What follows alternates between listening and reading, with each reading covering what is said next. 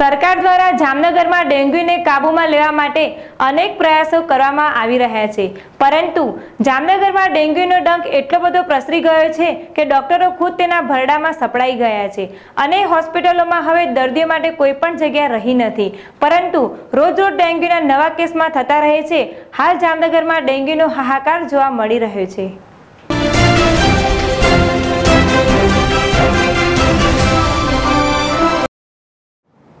ડેન્ગ્યુના ભરડામાં હવે જામનગર સપડાયું છે. તે દિવસથી જામનગરમાં ડેન્ગ્યુનો ડંખ એટલો પ્રસર્યો છે કે ખુદ ડૉક્ટરો પણ તેના ભરડામાં આવી ગયા છે. હોસ્પિટલોમાં હવે દર્દીઓ માટે જગ્યાઓ પણ ખૂટવા લાગી છે. તંત્ર ડેન્ગ્યુને ડામવા તમામ પૂરતા પ્રયાસો કરી રહ્યું છે, પરંતુ રોજ રોજ ડેન્ગ્યુના નવા કેસ થતા જ રહે છે. જામનગરના ઇતિહાસમાં ક્યારેય ડેન્ગ્યુનો આવો હાહાકાર જોવા મળ્યો નથી. હાલ જામનગર શહેરનો કોઈ એવો વિસ્તાર નહીં હોય, જ્યાં ડેન્ગ્યુના દર્દીઓ ન હોય.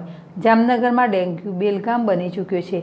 હવે પરિસ્થિતિ તંત્રના હાથથી બહાર જઈ રહી છે. કેમ કે ખુદ રેસિડેન્ટ ડૉક્ટરો પણ ડેન્ગ્યુથી બીમારીમાં સપડાયા છે અને ડેન્ગ્યુની સારવાર સાથે જ પરીક્ષા આપી રહ્યા છે. ડેન્ગ્યુના વધતા કેરને પગલે આરોગ્ય વિભાગ સક્રિય બન્યું છે. રાજ્યના વિવિધ જિલ્લાઓમાંથી આરોગ્ય વિભાગની ટીમોની જામનગરમાં તૈનાત કરવામાં આવી છે. તેમજ શહેરના જુદા જુદા વિસ્તારોમાં ફોંગિંગ દવાઓના છંટકાવ, દવા વિતરણની કામગીરી કરવામાં આવી રહી છે. ઉપરાંત લોકોને પણ ઘર આસપાસ શુદ્ધ પાણી ભરાયેલું ન રહે, તે માટે તકેદારી રાખવા સૂચના આપવામાં આવી રહી છે. હર્ષલ ખંદેડિયા, જેડેશ ટીવી, જામનગર.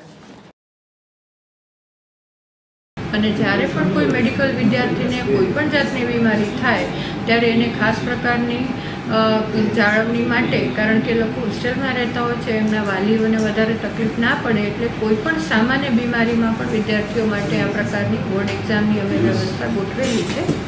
હાલમાં અત્યારે ત્રણ મેજર બેચની પ્રિલિમ એક્ઝામ ચાલે છે અને સૌરાષ્ટ્ર યુનિવર્સિટીની એક્ઝામમાં એપિયર થવા માટે આ વિદ્યાર્થીઓએ આ પ્રિલિમ એક્ઝામ આપવી ફરજિયાત છે.